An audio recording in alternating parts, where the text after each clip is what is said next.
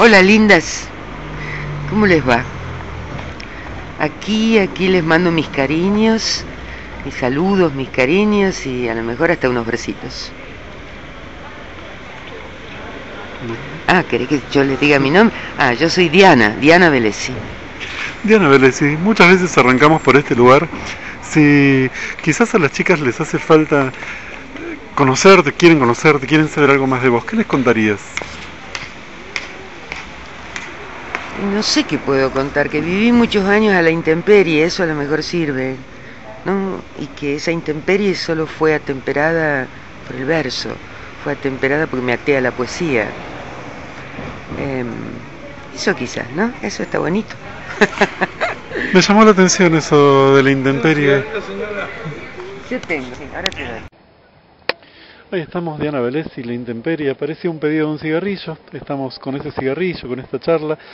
Te decía algo más sobre esta intemperie que puedas contarnos. Bueno, es una intemperie de cuando tenés hambre y tenés frío y tenés y no tenés plata. De esa intemperie hablo. No hablo de la intemperie sin fin de Juan L., sino hablo de esta otra intemperie muy real, digamos, ¿no? De mis años de juventud. De esa hablo. Hablas de tus años de juventud y miraba, estamos empezando noviembre en Buenos Aires, un lugar que se llama Nueva Avestruz, y me llamaba la atención esto de, de un lugar de nacimiento, un año de nacimiento. ¿Qué contarías de esos orígenes? ¿De, de los orígenes de quién? Tuyos, de Diana Vélez. Ah, bueno, yo nací en el campo y, y pasé siete años en una chacrita de mis abuelos, que no eran los dueños de la tierra, sino que la alquilaban. Y después viví en un pueblito que se llama Zavalla y me llamaban gringa pata sucia.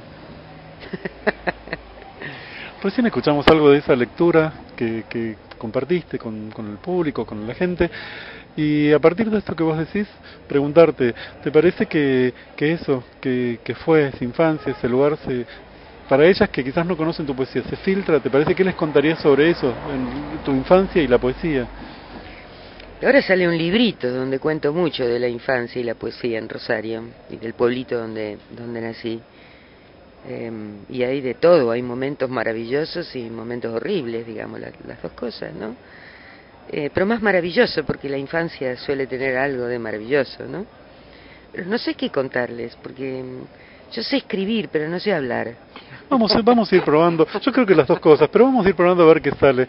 En el taller muchas veces trabajamos también con, con esas fotos de, de algún momento de nuestra vida, pero no las fotos que estamos viendo, sino las fotos que recordamos, que nos imaginamos. Y una foto que a vos ahora recuerdes, ¿cuál sería? ¿Cómo la contarías? La de la chacra de los abuelos, a donde pasé esos primeros siete años de mi vida, que ahora es una tapera. Sabés que en los últimos años, cada vez que voy, me cruzo, voy del pueblo al campo, cada vez que voy a la casa de mi hermana que vive ahí, y atravieso el campo y voy a mirar así los, los, los, los, ladrillos tirados por el suelo y un, y un montecito de moreras que se ha hecho sobre esa tapera. Y siento de todo, me acuerdo de detalles así maravillosos de esos años allí. Busco la huerta de mi abuelo, ya no se ve nada de nada, es muy difícil, digamos. Pero eso, y miro los atardeceres desde ese lugar. Hablabas recién de abuelos, de padres, de madres. La madre, la abuela, aparecen en los textos. ¿Qué son para vos? Personas a las que he amado y aún amo mucho. Mm, cambiando un poco también en lo que tiene que ver con esto que contaban para presentarte en un papel de vos, de tu tarea, hablan de una historia que tiene que ver con esto de estar trabajando, de haber trabajado en servicios penitenciarios. ¿Qué, qué contarías de esa experiencia? Experiencia en la cárcel. Uh -huh. Y que en ciertos, en ciertos asuntos es como la escuela primaria, digamos, para uno ver a estas personas tan, de, tan sensitivas y desnudas en su emoción y en su sentimiento, y tan inteligentes, además, por lo menos las que venían a mi taller, eh, de todas las cárceles de la ciudad de Buenos Aires. Así fue una experiencia maravillosa para mí. ¿Por qué elegiste esa tarea? Eh, porque quería esa escuelita para mí, porque, porque sabía que, que el amor y la emoción que se iban a desatar ahí iban a ser inmensas y así lo fue. Y si te preguntara qué, qué más o qué cosas aprendiste de toda esa experiencia. Aprendí una vez más, porque ya algo aprendí antes, eso es lo que te enseña la intemperie, te enseña, te enseña a tener furia y a ser humilde al mismo tiempo, ¿no? Y a respetar la belleza de, tu propia vida y de la vida de los otros. Salir de ese lugar y llegar a los premios y, y un poco entonces esa, la curiosidad tiene que ver con ese lugar. Eh, ¿qué, es, ¿Qué es para vos el momento este de haber llegado al lugar de ser premiada? Pero eso es algo que ven los otros. Para mí el premio nacional fue muy importante porque me va a dar una plata por mes para vivir, ¿entendés? Ahora que me voy poniendo viejita. Pero los demás ven los premios y todo eso. Yo sigo siendo la misma persona de siempre. No significa nada más que un gesto amoroso de algunas personas hacia mí y, y nada, y una plata que a todo el mundo nos hace falta. Pregunta de taller. ¿Cómo hace? ¿Cómo es que en Diana Vélez nace un texto? ¿Cómo trabaja esos textos? Ah, eso es una pregunta de taller. o quizás de escritores, pero ¿qué sirve para el taller? No, no, es que hay una frase que empieza, hay una frase que empieza como a la tira dentro mío. Una frase, una frase, y ese es siempre el primer verso de algo que después es el poema. Una frase con un ritmo específico, con un color, con una textura particular y después viene el poema y, es eso nada más. Había algo más y, y, esto que tiene que ver, entonces ya hablamos un poco, presentamos esto de, de los ancestros. ¿Algo más de lo que sea para vos la poesía? Bueno, para mí la poesía ha sido mi timón en la tempestad, como diría Martin Eden. Eso, un timón en la tempestad, eso ha sido la poesía, y aún lo es para mí. En el taller muchas veces nos preguntamos, a partir de Neruda y en los saludos muchas veces reincide esta curiosidad. Neruda nos llevó a preguntarnos por la felicidad. ¿Para vos qué es la felicidad? Eh, para mí la felicidad no existe, pero existen instantes maravillosos a lo que uno llama instantes felices. Es eso nomás.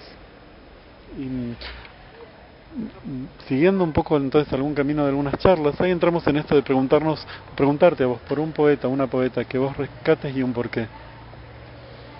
Gabriela Mistral, por ejemplo, ¿no? Pero también podría decir César Vallejo, podría decir tantos grandes poetas que me han alimentado a lo largo de toda la vida, ¿no? Pero Gabriela Mistral fue una sorpresa enorme para mí, porque en la escuela la arruinaron y después yo la rescaté cuando ya era una mujer grande leyéndola, ¿no? Y, y me, eso, Tala me parece un libro maravilloso. ¿Por qué me parece un libro maravilloso? No, no, tan larga no la hagas. Pero me gustó también ese lugar de la escuela, y entonces tu mirada sobre la escuela, ¿cómo, qué, cómo ves aquella escuela de tu infancia? ¿Cómo es esta escuela? A partir de esto que decías de, de esa poesía que se enseñaba, ¿qué, ¿cómo te la imaginas hoy? La escuela de la infancia fue una escuelita de campo y fue muy buena. La escuela secundaria fue más bien una tragedia, la universidad y todo lo que vino después.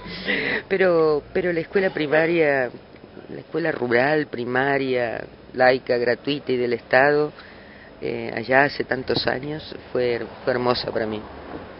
Y me hiciste acordar, porque en ese papel hablaba de una universidad que fue atravesada por años de dictadura. Entonces, eso, ¿cómo fue para vos eso de cursar, atravesar la universidad y atravesar la dictadura? Bueno, pero no esta última dictadura, sino la dictadura de Onganía, que fue bastante menor, digamos, que la otra dictadura.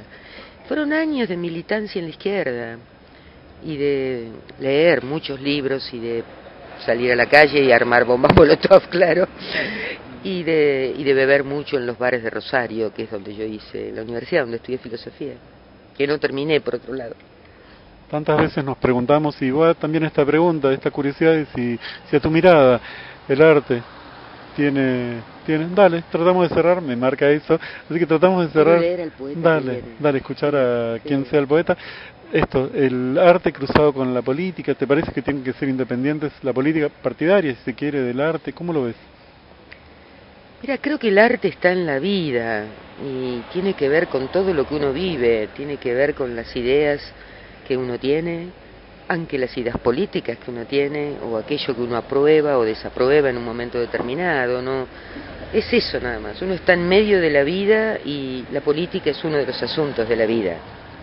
Entonces, así entra en el arte como solo uno de los asuntos de la vida. Promesa de cierre, una mujer de tu historia, del mundo que elijas y un porqué. No te entendí. Una mujer de tu historia, de tu vida, del mundo, del planeta, una mujer que te ilumine, que te alumbre y un porqué. Una mujer que me ilumine y me alumbre. Hay varias mujeres que me iluminan y me alumbran. La primera de todas fue mi madre. ¿no?